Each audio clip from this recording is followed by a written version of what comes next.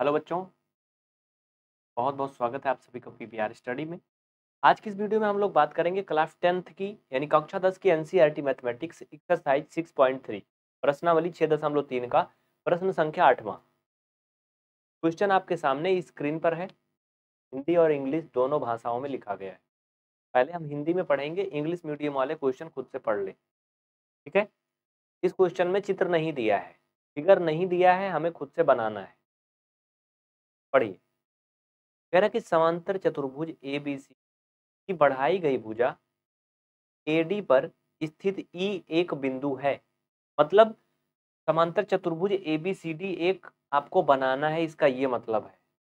भाई तभी तो कहा है ना समांतर चतुर्भुज के बारे में। कह रहा कि समांतर चतुर्भुज ए बी सी डी की बढ़ाई गई भुजा ए डी पर, यानी जो उसकी भुजा ए डी है, उसको क्या करा गया? आगे बढ़ा दिया गया यहाँ से।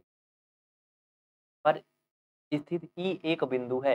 यानी जो भुजा बढ़ाई गई यहाँ पर क्या है ई यहाँ पर एक स्थित तो मैंने लिख दिया।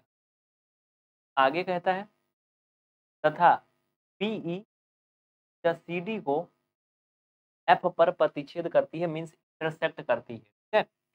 जो ये भुजा है बीई ध्यान से देखना ये सीधा। ये सी डी को एफ़ पर क्या कर रही है इंटरसेक्ट कर रही है। तो कह रहा सिद्ध कीजिए प्रूव कीजिए। क्या प्रूव कीजिए?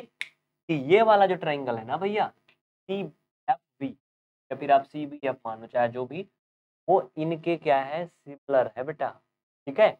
इनके का मतलब समझ रहे हो? ये बीच वाली लाइन अनदेखा कर दो, ऐसे समझ लो, ऐसे। आपको ये प्रूव करना है कि ये जो है, इसके क्या है, सिमिलर है। भाई सिंपल सी बात है, दिख भी रहा सिमिलर है। सिमिलर का मतलब क्या होता है? एक जैसे होना चाहिए, है ना? जैसे ये देखो दोनों इंक की बोटल एक जैसी है ना, ये सिमिलर है। लेकिन ये कांग्रेंस नहीं है।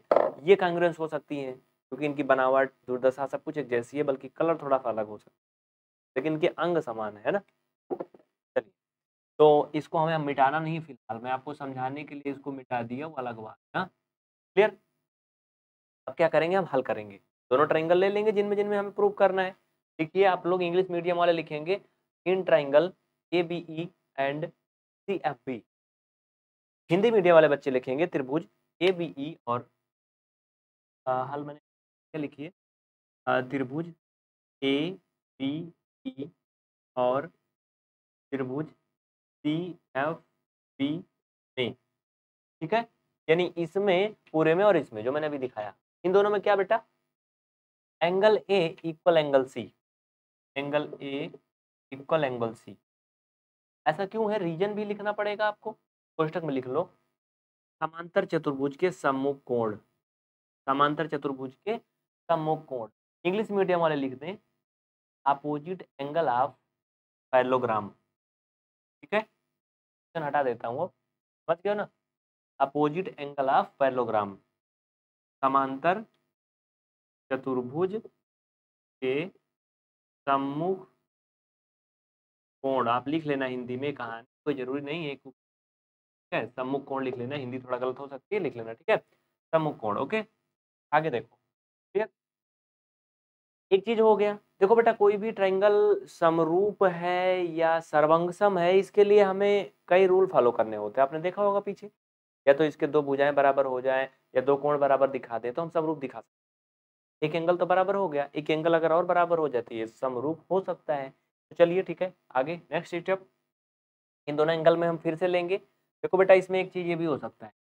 जैसे एंगल ए, एंगल सी के बराबर हुआ ना? इसमें एंगल एफ़ जो है एंगल बी के भी बराबर है। वो कैसे है? वो कैसे है? वो कैसे है मैं आपको बताऊँ? ये वाला भी नहीं सॉरी ये नहीं क्या आएगा ये वाला भी हाँ? ये एफ़ तो ये बी ये भी बराबर है, क्यों? आप नीचे लिखो, मैं बताता हूँ एंगल ए बी ई क्या लिखोगे? ए एंगल इसका जो सी एफ़ बी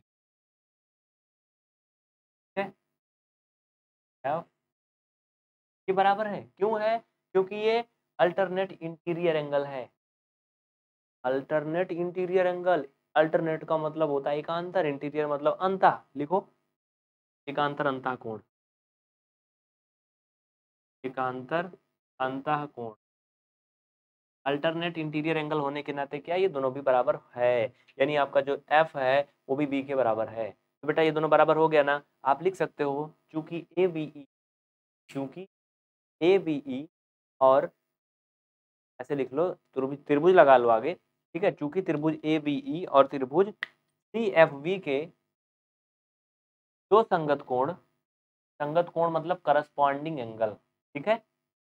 दो करस्पॉन्डिंग एंगल क्या है? इक्वल है, यानी बराबर है। अतः अतः, बोल रहा हूँ, उसे लिख लेना।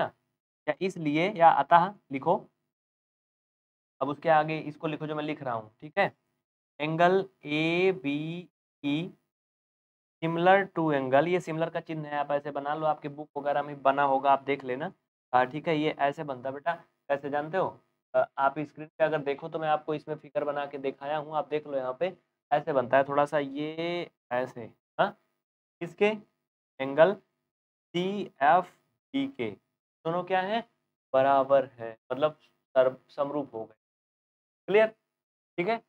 रीजन क्यों? लिख लो हाँ? तो लेकिन ऊपर बता ही दिया। आप समझ गए? ए ए से। आई लिख लो A A angle angle property से, ठीक है? दोनों क्या हुए? एंगल एंगल बराबर हो गए। क्लियर? किसी को कोई डाउट है तो बताओ। कोई डाउट नहीं ना, अगर कमेंट करो, अगर डाउट है तो निसंकोच कमेंट करिए, मैं बताऊँगा। लिख लीजिए स्क्रीन शॉट ले लीजिए, मैं सामने से, जल्दी करिए। चलो बेटा, फटाफट। कोई डाउट है तो कमेंट करिए। वीडियो को ज़्यादा से ज़्यादा शेयर करना तो अगला वीडियो भी बहुत जल्दी आपको मिले। हाँ इस तरह की बड़ी बड़ी क्लास का करने के लिए एक एक घंटा दो दो घंटा के लिए आप P V R study app download करिए। डिस्क्रिप्शन में दी गई लिंक से P V R study official Apple play store से इंस्टॉल करिए और पढ़िए तीन तीन घंटे की बड़ी बड़ी